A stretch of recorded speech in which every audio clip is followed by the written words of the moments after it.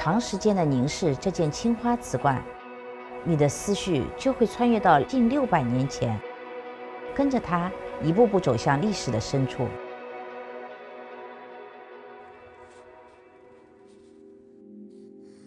杨运，上海博物馆副研究馆员，国家级非物质文化遗产代表性项目——古陶瓷修复技艺第四代传承人。他面前这件蟋蟀罐，在盖底与圈足均有大明宣德年制的底款，足见有着“醋汁王子”雅号的宣德帝对此类玉品的喜爱程度。时至今日。绘画精美、纹饰新颖而又丰富的宣德官窑蟋蟀罐，已极为震撼。这件明代的官窑青花瓷器是研究中国陶瓷艺术史、中国绘画史的可靠新颖的资料。明宣德金花蟋蟀罐之前的话呢，其实是有旧修的，对，已经有一点呃老化了。特别是它的一个表面存在一些泛黄的。这件由四十块碎片拼合而成的宣德瓷罐，早期修复的罐体已显露出发黄痕迹，不利于文物的保存与展示。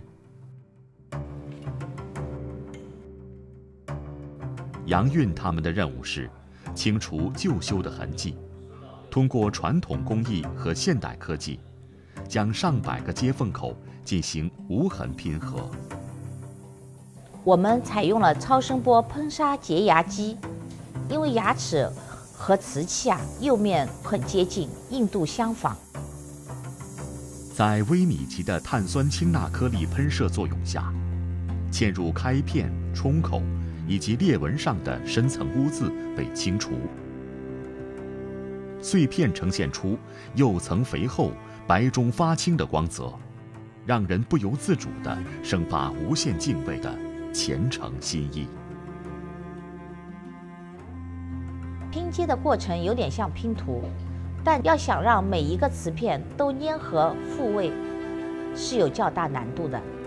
就像中医整骨一样，要一点点的拿捏，这个力度是依靠经验来把握。以前我师傅也是这样教我的，都是手上功夫。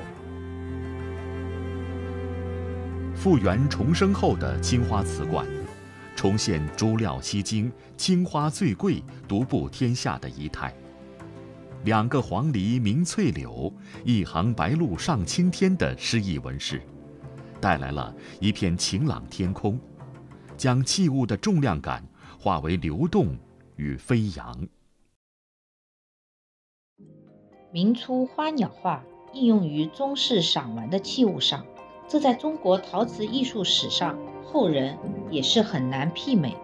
所以在修复这只黄鹂鸟时，我们必须做到神形兼备。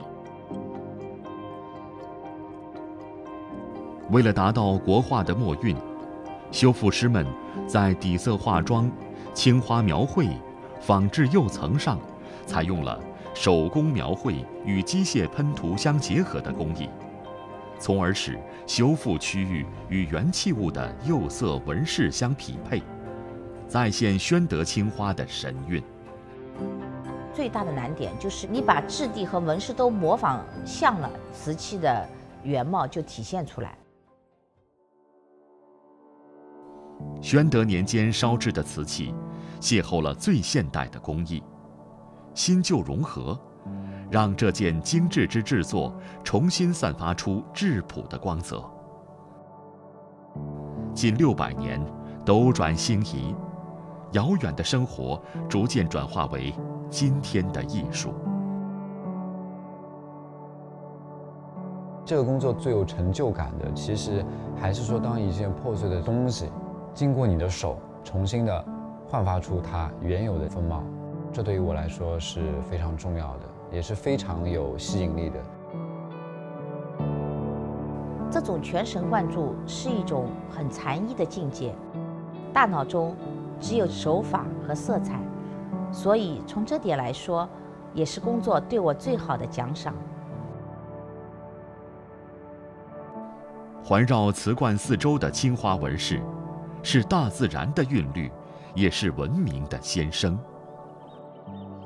那时风动，此时心动。